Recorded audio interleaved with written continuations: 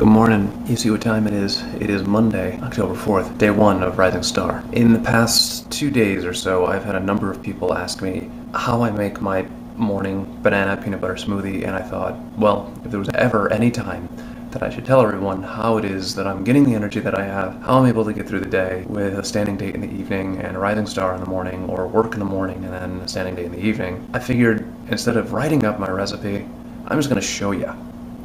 Three, Here I have my ice cubes. You can see that they are not massive ice cubes. I'm going to put all of this in. Next, I've got two bananas. If I didn't have two small bananas, I would use one large banana. After the ice and the bananas are all smooth, I will put in my 20 almonds.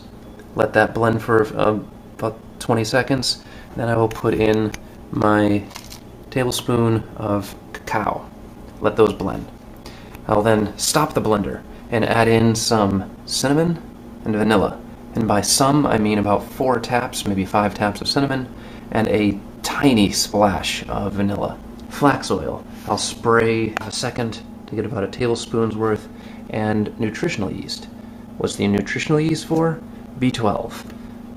After that's put in, I will go to my peanut butter all of these things in and blending for a while in this device. I will probably let it blend for about three to four minutes because I want it to be nice and smooth.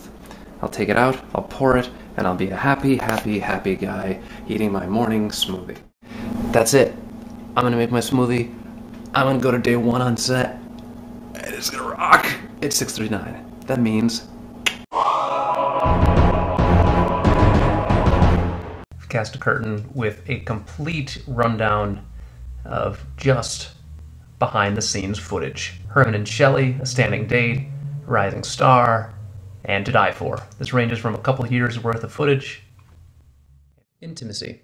The quality or condition of being intimate. Intimate, close in acquaintance or association, closely connected by friendship or personal knowledge, characterized by familiarity, very familiar. Intimacy on stage and in a film.